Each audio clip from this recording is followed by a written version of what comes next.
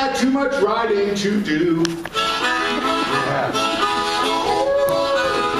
Oh, winter can't be over yet. Don't tell me it's spring and sprung. I don't want to hear that from you. Oh, winter can't be over yet. I haven't skied my hundred days, and winter can't be over yet. My legs are just getting in ski shape.